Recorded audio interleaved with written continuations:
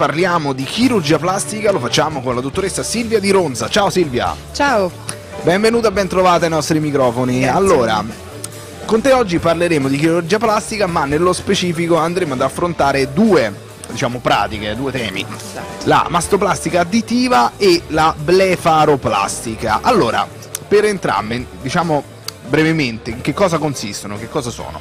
Allora, la mastoplastica additiva sarebbe eh, l'aumento volumetrico del seno, è uno Sì. degli interventi Più conosciuti. più insomma, conosciuti e più richiesti, assolutamente. Ehm, Soprattutto dagli ovviamente- so- diciamo di no.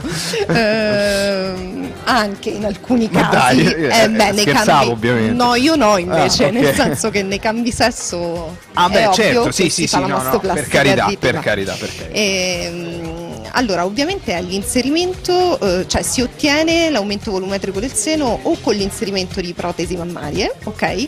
O con eh, il cosiddetto lipofilling, ossia l'asportazione di eh, l'aspirazione di grasso che viene centrifugato e reinserito nel, nella ghiandola mammaria. Ovviamente questo non dà risultati immediati, cioè i lipofilling devono essere ehm, più di uno, eh, mentre invece la protesi dà un risultato immediatamente definitivo. Ehm, Questo per quanto riguarda la mastoplastica. la mastoplastica additiva, esatto. Eh, le protesi sono eh, quelle che si usano ad oggi, ovviamente ne esistono di tanti, tante marche e mm, ce ne sono di più buone e meno buone. Vabbè, Bisogna... come in tutte le cose, Esatto. certo. Eh, sono mh, in gel di silicone, eh, ma possono essere anche in poliuretano, hanno ovviamente diverse caratteristiche, ovviamente al tatto sono molto morbide ed è questa la cosa mh, fondamentale, no? che Certo. siano il più naturali possibili. Eh, vengono inserite ehm, tramite diversi accessi eh, o a livello con l'inserimento dal solco sottomammario o a livello periareolare o eh, per via ascellare. Diciamo che l'inserimento più frequente è quello dal solco sottomammario e dalla, ehm, dall'areola, dall'incisione periareolare. Ehm, Diciamo che non c'è un periodo dell'anno ben preciso in cui eh, può essere fatta la mastoplastica Ah, ok, certo, questo non ci avevo pensato. Esatto, può essere fatta mh, durante tutto l'anno. È ovvio che gli interventi magari fatti d'estate sono un po' più fastidiosi perché comunque nel decorso post-operatorio si portano dei reggiseni, delle fasce che vanno tenuti almeno per un mese, no? Mm, Sì. durante il quale uno deve stare molto attento con sollevamento di pesi, sollevamento di bambini, eh, palestra ovviamente eh, che è diciamo mh, vietata nel primo Certo. mese perché comunque il rischio è quello che le protesi si possano spostare per cui per una cosa che comunque dovrebbe essere definitiva è ovvio che uno per un mese deve stare attento Senti, Eh, questo per quanto riguarda la mastoplastica additiva. Esatto. Ok, eh, passiamo alla blefaroplastica La adesso, brevemente. blefaroplastica è un altro intervento, eh, sarebbe la rimozione dell'eccesso palpebrale eh, dalla palpebra superiore per quanto riguarda la blefaroplastica superiore e eh, la rimozione invece dell'eccesso palpebrale nella blefaroplastica inferiore con la rimozione delle cosiddette borse, Sì, no? sì. Quindi Ok. questo ovviamente è trasversale uomo-donna. eh. Uomo-donna assolutamente, richiesto da entrambi i sessi Sì, sì, in maniera assolutamente. Confermo, confermo. E, mh, allora, asportazione quindi ovviamente dell'eccesso cutaneo palpebrale superiore nella blefaroplastica superiore eh, con l'incisione che eh, viene nascosta dalla eh, naturale e fisiologica piega palpebrale. Eh, nella blefaroplastica inferiore se c'è un eccesso di cute si eh, rimuove la cute in eccesso altrimenti si fa un eccesso nascosto nella congiuntiva.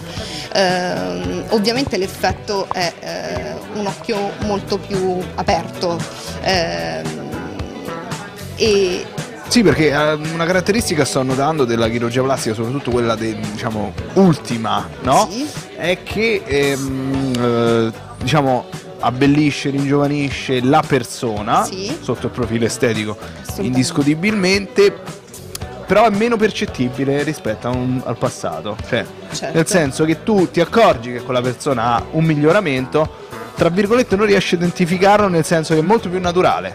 rispetto esatto. a, co- a come era. è un eh, lavoro eseguito nella maniera corretta. Appunto, no, no, appunto, Esatto. esatto. Nel senso che tutto ciò che facciamo noi chirurghi plastici dovrebbe eh, essere il più naturale possibile, Certo. ossia andare a eh, migliorare l'estetica di una persona senza alterarla e senza eccedere, eh, perché l'eccesso è assolutamente antiestetico. Per Beh sì, perché mi- appunto la finalità è sempre estetica, poi Esatto. ovviamente ognuno fa quello che vuole perché poi... Ci sono anche richieste eccessive. Eh, certo, lo sappiamo, lo sappiamo bene. Allora, mh, per quanto riguarda la mastoplastica, prima abbiamo parlato di quelle che possono essere, quello che può essere il decorso, perché tu dicevi eh, appunto poi le donne devono portare eh, Per un mese per un devono- mese devono portare appunto dei reggiseni particolari. particolari, esatto, Esatto, sono ci- quelli da sport, sportivi, ehm, abbastanza com- che comprimono, ovviamente devono tenere mm, la, la protesi ferma in sede eh, con una fascia eh, per un mese senza sollevare pesi, senza Esatto, fare perché sennò ci possono essere delle complicanze. Ci potrebbero essere delle complicanze perché la protesi ovviamente si potrebbe spostare. Ehm, Benissimo, per quanto riguarda... Sì, prego, volevi aggiungere? Scusami, le altre complicanze ovviamente sono quelle tipiche di qualsiasi intervento chirurgico, per cui infezione, ematoma, emorragia e poi ci sono proprio delle complicanze invece specifiche della protesi mammaria, che ovviamente vanno sempre eh, dette alla paziente perché è giusto che una paziente venga informata eh, su quelle che sono le complicanze dell'intervento che andrà ad eseguire. Eh, ad esempio la famosa contrattura capsulare per noi è molto famosa, eh, che sarebbe una eh, contrazione proprio della capsula che si forma intorno alla protesi mammaria, perché comunque il nostro organismo la riconosce come corpo estraneo, per cui ehm, la contrattura capsulare va a modificare proprio eh, il profilo della protesi mammaria e quando ciò succede eh, diciamo che prima si interviene a livello farmacologico, se a livello farmacologico poi la cosa non si risolve ovviamente bisogna eh, ripetere l'intervento chirurgico.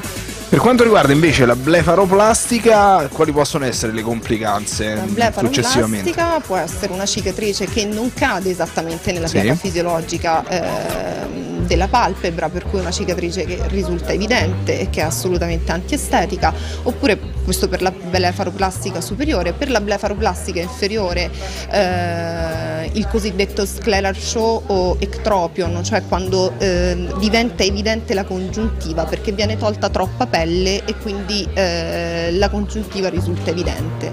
Eh, però se eseguiti da mani esperti questo non accade, ve, lo, ve lo assicuro. E allora, le mani esperte sono quelle di Silvia Di Ronza, Grazie. che è contattabile dove, come e quando. Allora, io lavoro a Roma, eh, Terracina e Velletri, e ho una pagina Facebook e mm, tutti i giorni dal lunedì alla domenica perché spesso e volentieri visito anche di domenica per andare incontro alle persone che comunque lavorano durante la settimana e, e mi chiedono disponibilità di domenica. Perfetto. Dottoressa Silvia Di Ronza, è stato un piacere, grazie. Grazie a voi.